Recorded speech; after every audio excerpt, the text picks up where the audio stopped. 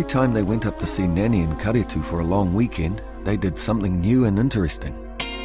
This time they were going to a high hill called Maunga where the wind blew in all directions and they were going to fly kites. And after that, they were going to see some giant trees. It was Mum who showed them how to make old-fashioned kites, the sort that Ngati Manu people used to make in the olden days, way, way back before Captain Cook came to New Zealand. And it wasn't just kids who made kites then, Mum told them. It was artists.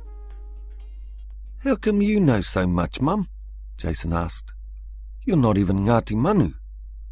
Mum laughed. Well, I went to a Ngati Pākehā library, Jason, and I took out a Ngati Pākehā encyclopedia and I read all about it.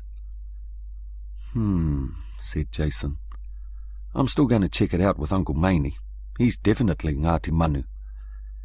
And Nanny, said Danielle. I bet she used to make kites in the olden days. Jason and Uncle Maney worked on a kite together. Theirs was a giant eagle with huge wings. Tere Moana and Mum painted the manuka stick frame of their kite white and sewed on strips of soft, white, slithery material, and Tere painted green and purple eyes on the front. It was a sort of fairy ghost. Nanny and Danielle made their frame out of flax stalks, but they went out to the top paddock to make the tail. The big puriri tree was covered in red berries, and guzzling the puriri berries were two fat kereru, wood pigeons. See that, pet? said Nanny. Nothing the kereru likes better than puriri berries. They get so full they just about fall out of the branches, greedy things. She had some thin strips of flax ready, and she tied little bunches of berries all along the tail of Danny's kite. Will a kereru fly after my kite on the high hill? asked Danny. You fly this kite on Maunga Hou, Kare, and you'll have kereru chasing after you wanting to be your pet. Heaps of them. But Nanny was wrong. On top of Maunga Hou, the wind picked up Tere's fairy ghost kite and Jason's giant eagle kite and tossed them high in the sky. They had to work hard to keep control of them as they let out the string.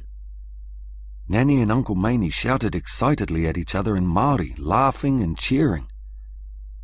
But Danny's kite, with its tail of puriri berries, would only skip clumsily along the ground. Mum tried to help, but even she couldn't make it lift into the wind. Sorry, Danny, she said. I think the berries are too heavy. Shall I take them off for you? No, thanks, said Danny. She liked the look of the berries on the tail and she liked the feel of their heaviness. But now she would never be able to catch a kereru to be her pet.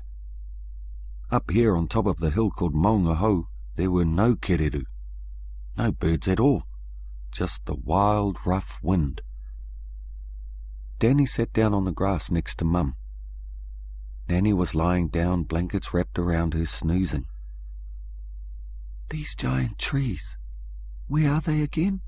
Danny whispered to Mum. They're in the Waipoua forest, said Mum. You've never seen anything like them. One of them's called Tane Mahuta. It's the hugest live kauri tree in the world. Are there any kereru in Waipoua forest? Danny asked. Probably. They'll be after various sorts of berries at this time of year, said Mum.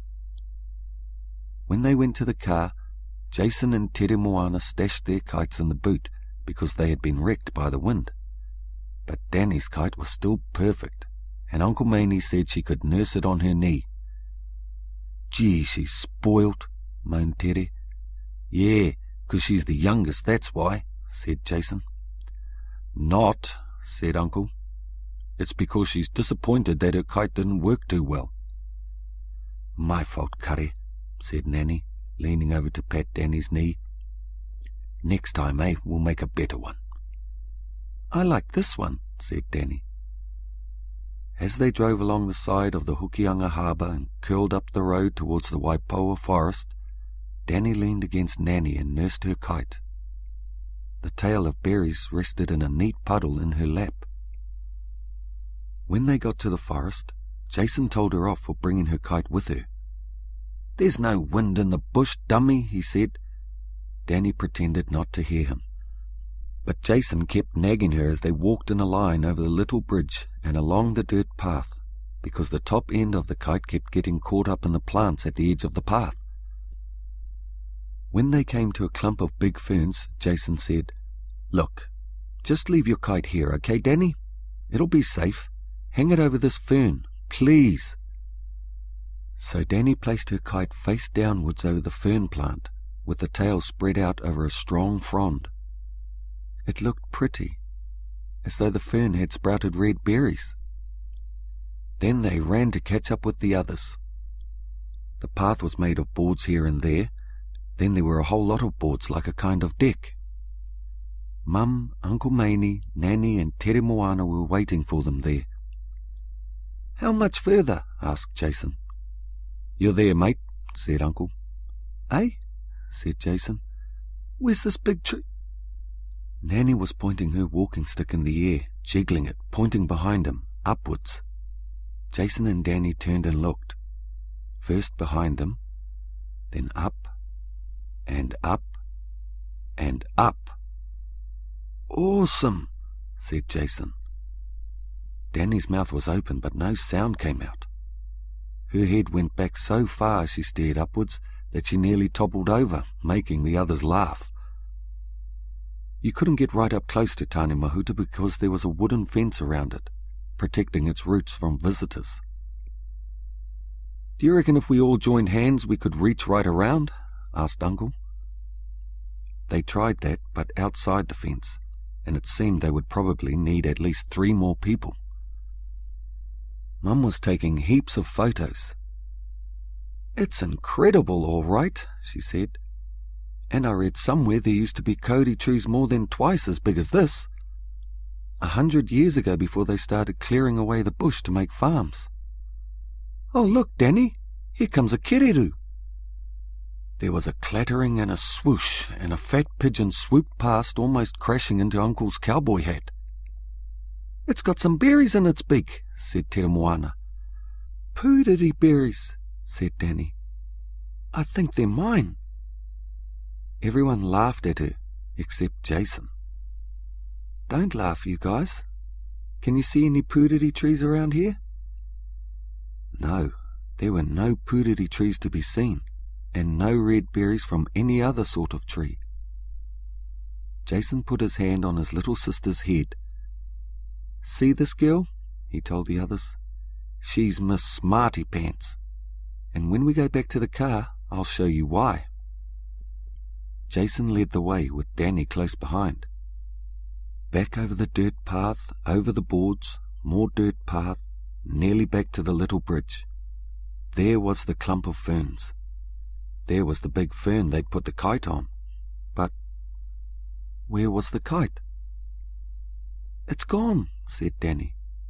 What's gone? asked Mum. My kite. True, said Jason. She left it right here over this fern. My goodness, my goodness, said Nanny. They all looked at her. She had a funny look on her face. She pointed with her walking stick upwards. Look up there, in that old taraire tree. And there was Danny's kite, caught in the lowest branch of a very tall tree. That is so amazing, said Tere. Do you want me to see if I can climb up and get it? asked Jason. Danny shook her head. No way, because my kereru, it'll be coming back here to get some more berries. I think it's cool to leave my kite here in the forest. Good girl, said Nanny. Look after our birds. Nanny and Danielle, go as close as you can to the tree, said Mum. I want to get a nice photo of you. Back at school, after the holidays, when it was time to do some writing, Danielle opened her storybook and glued the photo of herself and Nanny under their kite onto a fresh page. Then she wrote her story. My Pet Kereru. Two pages. Ms. Morrissey said it was the best story about a pet she had ever read in her whole life.